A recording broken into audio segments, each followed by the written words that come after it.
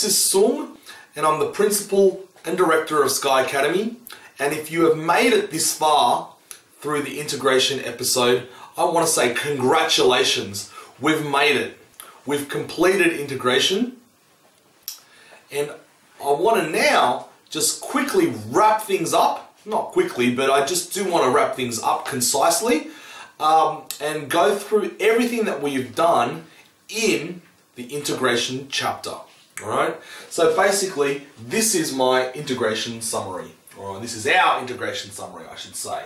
So basically we started off by saying that integration is really about looking at, it gives us a way of looking at the area under a curve which might not be able to present itself towards finding a, the area of a curve, or to, to find the area of it um, by using shapes, by using polygons like um, uh, like squares and rectangles and triangles, etc.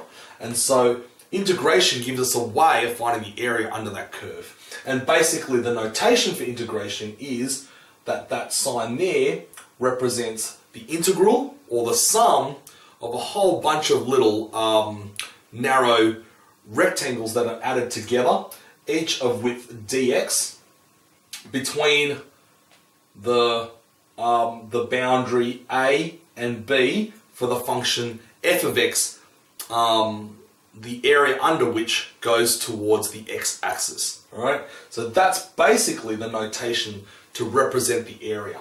Okay, it's the integral from a to b of f of x un, um, under f of x to the x-axis um, and that is the, the notation for that right?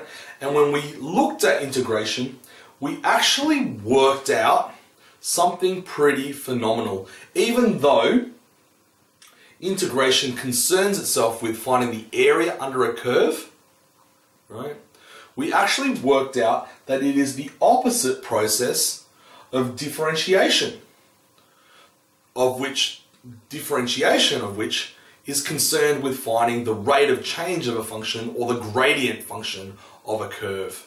Okay, the gradient of the tangent of a curve. Okay, so um, differentiation is is is looking at finding the gradient function of a curve. Integration is finding the area under the curve, and we worked out that they're actually opposite processes. To undo differentiation, you integrate. To undo integration, you differentiate. Okay, and this was basically the first fundamental theorem of calculus, right? Which was quite a um, uh, uh, a beautiful discovery in the time. Okay, then we looked at the difference between a definite integral and an indefinite integral.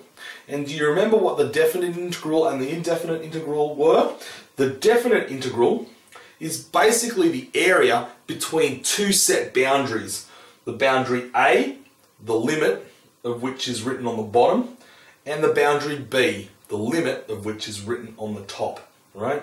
And the integral of a function of a the the um, the result of a definite integral, right, is the primitive function of that function with b substituted into it minus the primitive function with a substituted into it. Okay, so that will give you the area under a curve between a and b. Okay, and that's what we call the definite integral.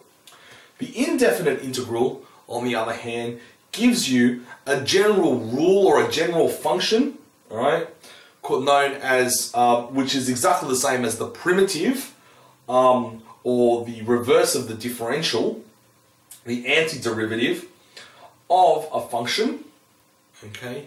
But this time, the difference between an indefinite integral and a definite integral is that you don't have upper and lower limits. And because you don't have your limits, what we need to remember when we integrate an indefinite integral is to add c. Okay, good.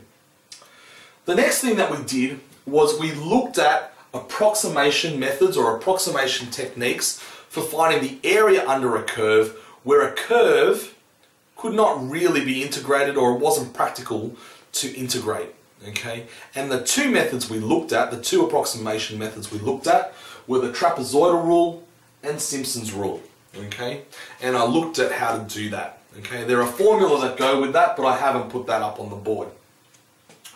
And then we looked at areas below the x-axis, and we looked at the difference between areas under a curve or bounded by a curve and integrals, right? Um, and we know, and basically what I said was that the area, whether it's above or below the curve, an area bounded by a curve is always going to be positive. Whereas an integral, if it's above the curve, will be positive, and if it's below the curve, will be negative. Sorry, let me say that again. If it's above the x-axis, it will be positive, and if it's below the x-axis, will be negative. So the area bounded by a curve and the x-axis, if, if it's above the x-axis, it will be positive. If it's below the x-axis, it will be negative right? So we need to take that into consideration and we need to be able to read questions carefully. So if a question says find the area bounded by a curve, what you need to do is consider which areas are above and which areas are below and make sure you find the absolute values of the areas below before you add. Okay, and that will give you the total area bounded by a curve and the x-axis. Yeah. Um, if you're finding the integral, then you don't have to worry. What it will do is it'll take away, subtract the areas below the curve because they will automatically be negative in nature. Okay, if you are just finding the integral. Okay, so you just need to be careful of those type of questions. We then looked at areas between two curves. And the area between two curves is given by the area of the top curve minus the area underneath the bottom curve, right? Which basically is the integral of the top curve minus the integral of the bottom curve between the limits where they intersect. Yes? So you need to find the points of intersection, the x-coordinates of which will be A and B. And we also noted that um, the difference of the integrals is also the integral of the differences, okay, of the, of, of the difference between the curves. So we can either um, take the two curves, integrate them separately and subtract, or we can subtract the two functions from each other and then integrate. And both will give you the same answer.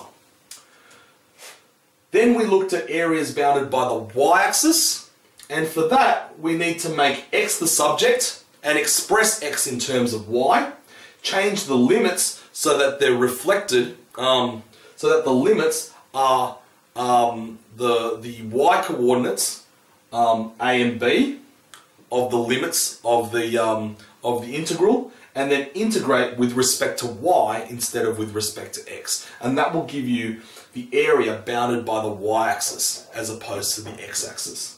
And finally, what we did was we looked at volumes of solids of revolution and we worked out that to find the volume of a solid of revolution, you actually square the function, integrate, and then multiply by pi. Okay? And that gives you a really good overview of all that you need to know in this particular chapter, all right, the integration chapter. Thank you very much for watching. I'll stand to the side now so that you can have a look at everything that I've got up on the screen. Thank you.